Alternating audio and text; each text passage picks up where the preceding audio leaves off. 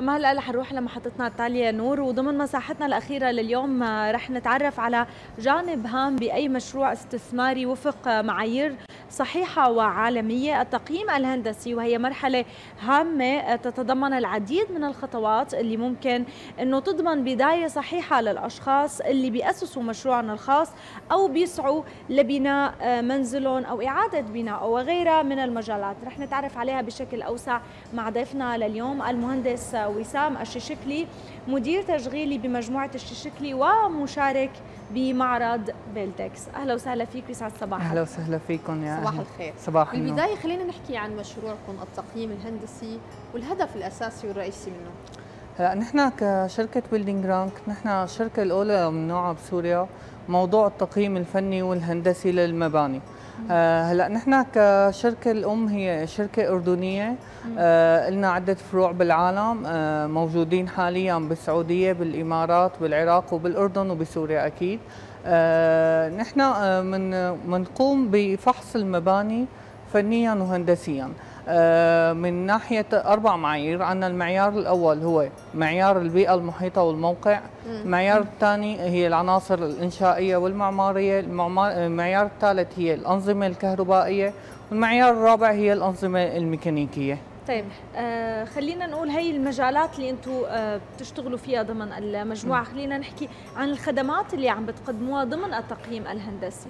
نحن بنخدم آه، كل المجالات تقريبا الموجودة. إن كان مثلا آه، فحص الشقق السكنية إذا عندك أنت فكرة بيع أو فكرة شراء آه، شقة ممكن نحن نفحصها نقيمها فنيا من حيث العيوب ما واضحة للعين المجردة. ممكن نحن إذا حضرتك عندك نشاط تجاري بدك تستأجري منشأة معينة ممكن نحن نقيم لك إياها. هل في جدوى من هذا الشراء؟ طبعا آه، مجال إعادة الأعمار. نحن بنقيم المباني الموجودة. هل هي في جدوى من إعادة آه، صيانتها؟ آه، شو التكاليف؟ شو طرق التدعيم؟ هل ممكن إنه نحن نعيد صيانتها بتكاليف معقولة ولا الأفضل إنه نزيلها ونرجع نبنيها من أول وجديد؟ وأكيد نحن عم نقدم أفكار جديدة هي عم تخدم المجالات الهندسية. مثل مثلا موضوع التقريض الكهربائي موضوع أنظمة الحرائق. شفتي للأسف الأحداث المؤسفة اللي صارت مثل حريق, حريق مول الميرادا أو حريق مشفى المهايني. نحن عم نحاول إنه نتخطى هذا الشيء. وبالإضافة كمان عم نقدم عم نحاول إنه نشتغل على فكرة هي فكرة استدامة المباني. بما إنه نحن آه، حاليا عم نقوم بمشاريع جديدة عم تكون في مناطق تنظيمية جديدة عم نحاول إنه نروح نحن لموضوع استدامة المباني طبعا بالتعاون مع المؤسسات الدولة وهدول المنظمات. طيب خلينا على فكرة آه، نركز عليها شوي فكرة التقييم الهندسي. إنه أنتم تركزوا على أربع نقاط أساسية هي النقاط كيف بتكون مدروسة؟ يعني بناء على أي شيء فينا نقول؟ على لجنة هندسية أو على أسس معايير معمارية نحن أساسا مشينا عليها. هلأ نحن حاليا ماشيين على الكود الأمريكي للتقييم اس تي ام اس تي ام عندنا له شقين الشق اللي هو E 2018 هو بيحكي عن تقييم المنشآت والمباني. والشق الثاني هو E 1527 اللي بيحكي عن تقييم الموقع والبيئة. هلأ حاليا عم نحاول إنه نشتغل على يكون في كود خاص بسوريا بالتقييم. نحن بسوريا ما عندنا غير كود تقييم إنشائي أو مراقبة المباني انشائيا. هلأ نحن كشركة بيلدينج رانك نحن عندنا application خاص فينا. آه، بيتم آه، تنزيل آه، معلومات المشروع أول شيء على ال system. طبعا عندنا فريق من المهندسين بيقوم بجمع المعلومات. بيطلع عنا فريق على أرض الواقع. هلأ بنبلش نحن إذا عم نحكي مثلا على مستوى الشقة نحن بنفحص أكثر من 700 نقطة بنبلش بالبيئة المحيطة توفر الخدمات توفر الكهرباء إذا لا سمح الله في مثلا خطوط توتر عالي ممكن تكون مضرة بالصحة في شبكات محمول ممكن تكون مضرة بالصحة. هي الأشياء كلها بنغطيها بننتقل للبناء. البناء نفحص خدماته البنية الإنشائية تبعه آه، تمديدات الميكانيك تمديدات الصحية تمديدات الكهرباء المصاعد مثلا الأدراج التشطيبات المعمارية كل هذا الشيء بيتم فحصه. بعدين ننتقل للشقة أكيد البنية الإنشائية للشقة التشطيبات المعمارية لأدق التفاصيل آه، تمديدات الصحية آه، تمديدات الكهربائية كمان كل هي الأمور بيتم فحصها. طبعا نحن آه، عندنا من من شركة بيلدينج رانك نحن بنقدم أربع أنواع من الفحص. أول فحص هو اسمه ال PCA اللي هو اللي بيحكي عن فحص المباني السكنية. ثاني فحص اللي هو ال PCA هو بيحكي عن فحص المنشآت أو العقارات التجارية. ثالث فحص أو ثالث خدمة نحن بنقدمها هي فحص ال FCA، فحص ال FCA بيكون عندنا للمنشآت الصناعية والتجارية بنقدم بنقدم لها بالإضافة للفحص الفني والهندسي. بنقدم لها آه، إدارة مشروع كامل مع آه، تكاليف التصليح مع آه، تكاليف التشغيلية لعشر سنين لقدام. يعني بتكون إدارة مشروع كامل. وأكيد عندنا ال special reports، ال special reports هي إذا أنت عندك مثلا مشكلة خلينا نقول رطوبة مخفية أو مشكلة إنشائية أو مشكلة كهربائية تسرب كهربائي عم تطلع عندك فاتورة الكهرباء عالية مثلا. هي القصص كلها نحن بنقدر نغطيها. حلو يعني مجالات متعددة ومهمة ويمكن ما كل الناس بتعرف قديش هي المجالات ضرورية وممكن توفر على الناس. أكيد. آه خلينا نقول مشاركتكم الأخيرة ضمن معرض بيلدكس الدولي للبناء.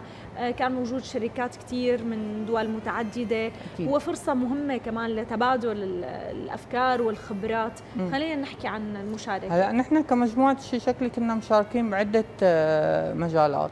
عندنا مثلا شيء خاص بالطاقة الشمسية عندنا شيء خاص بتصميم المفروشات وتنفيذها عندنا شيء خاص بالأعمال التعهدات والدراسات الإنشائية.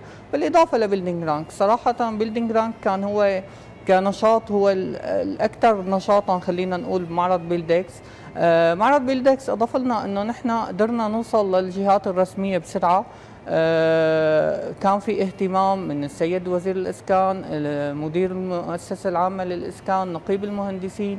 مجالس المحافظات. يعني هدول هدول الأشخاص أو الجهات قدرنا نتواصل معهم بسرعة وكان في اهتمام كبير منهم طبعا مشكورين. بالإضافة للزبائن العاديين اللي كانوا عم عم عم يتواجدوا بالمعرض. بالإضافة للشركات اللي قدرنا نحن نتقارب مع آه، خلال هذا المعرض ونقدر آه، يعني نشوف المجالات التعاون اللي ممكن نقوم فيها بالمستقبل إن شاء الله بعد المعرض. لما نحكي عن المعرض الدولي للبناء نحن عم نقول عن مرحلة إعادة أعمار جاية ومقبله عليها سوريا بشكل كثير كبير. بعض ظروف آه، اللي مرت علينا والحرب القاسية وحكيت آه، خلال حديثك إنه كان في اهتمام أو لفتة من آه، فينا نقول الجهات الرسمية. خلينا نحكي عن القطاع الخاص والعام. لما يكون في تشاركية بهي النقطة تحديدا في المستقبل. عم نحكي عن تقييم هندسي أساسا مهم للمرحلة القادمة خصوصا للمناطق اللي بدها يتم إعادة بناء التشاركية بهي التفاصيل. قديش مهمة اليوم بالمستقبل البناء بسوريا؟ لأنه فينا نقول إيد وحدة ما بتزقف يعني طبعا. القطاع الخاص لحاله ما فيه يشتغل والقطاع العام هي تشاركية اليوم. واليوم هي مسؤولية وتشاركية لازم تكون على الكل لأنه يعني البلد بحاجة لكل حدا لازم يكون واقف معه اليوم طبعا هلأ نحن عم نشتغل على كثير قصص آه، ممكن يعني بتكون مفاهيم شوي جديدة على سوريا أو ما فيها اهتمام. هلأ مثلا نحن بموضوع التقييم الهندسي خاصة للأبنية لمرحلة إعادة الأعمار. في كثير أبنية ممكن تستفيدي أنت من العناصر الإنشائية الموجودة وتوفري على حالك آه، مبالغ طائلة.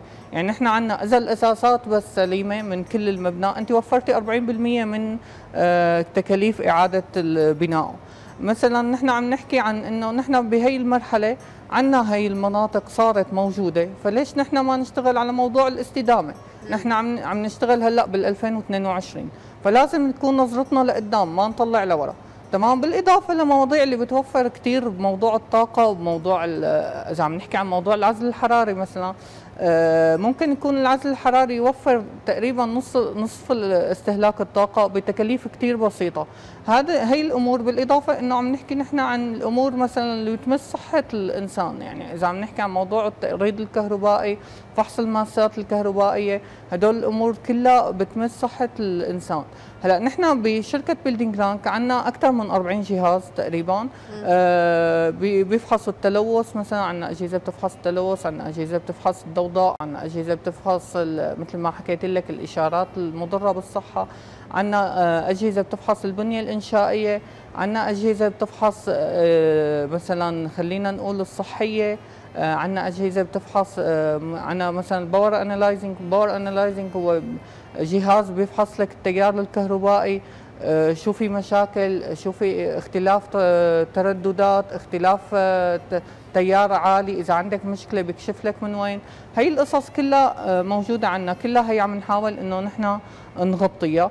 وطبعا يعني مثل ما حكينا نحن إنه إذا ما كان عندنا تعاون مع النقابات بالنهاية مثل ما تفضلتي حضرتك إيد واحدة ما بتزقف. يعني نحن حتى جاهزين إنه بالمستقبل يكون لنا مثلا دور بتدريب شركات تكون منافسة لنا بنفس الوقت نقدر نحن وياها نغطي هذا السوق. طبعا نحن هلأ حاليا عم نشتغل مع مؤسسة الإسكان مع نقابة المهندسين عندنا محاضرة الأسبوع الجاي بمؤسسة الإسكان.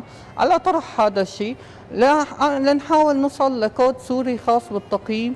آه، بياخذ المعايير السورية بياخذ السوق السورية بعين الاعتبار.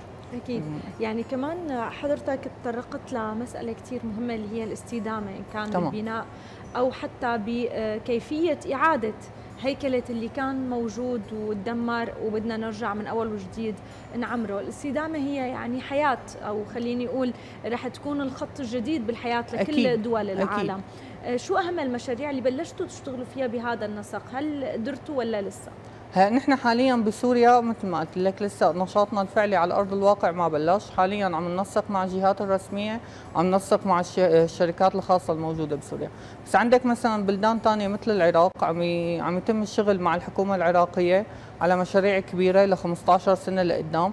كلها هي يعني الخيار الأول الموجود هو موضوع الاستدامة. الشيء الأول اللي عم نشتغل عليه هو موضوع الاستدامة. إذا عندك مثل البلد الأردن مثلا الموجوده الشركة الام فيها هن متفقين مع نقابة المهندسين إنه رح يتم وضع كودات خاصة بالأردن رح يتم آه، موضوع التقييم كله حيتم آه، دراسته مع النقابة بالتعاون مع الشركة. طب نحن شو اللي موقف لسه لحتى نبلش بهذا الموضوع؟ ما دام عندنا أماكن كثير هلأ بلشوا فعلا بإعادة العمل عليها وفي مشاريع موجودة. تماما. ما يتم دراسة هذا الموضوع مع النقابة يعني؟ تماما. هلأ حاليا نحن كانت فكرتنا جديدة شوي آه تم التعرف عليها أكثر بالمعرض.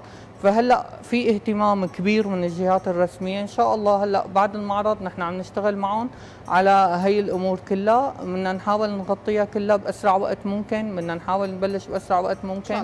بدنا نحاول آه، نجمع التعاون من كل الجهات اللي ممكن تساعدنا بهذا الموضوع لنوصل لمرحله إعادة أعمار تكون على أسس صحيحة. على أسس صحيحة تماما 100% وتكون يعني تأسس لسوريا المستقبل يعني. نحن مو معقول نرجع لورا كمان. إن شاء الله أكيد بإذن الله. سوريا آه، بتكبر باولادها وأكيد مثل ما قلت بنعمر سوا مستقبل سوريا. بالختام بدنا نتشكرك أكيد نتمنى لكم التوفيق بالمعرض ونتمنى نشوف هيدا المشروع على أرض الواقع قريبا. بإذن شكرا الله. كثير شكرا كثير لكم شكرا لك ولوجودك. أهلا وسهلا فيكم. يا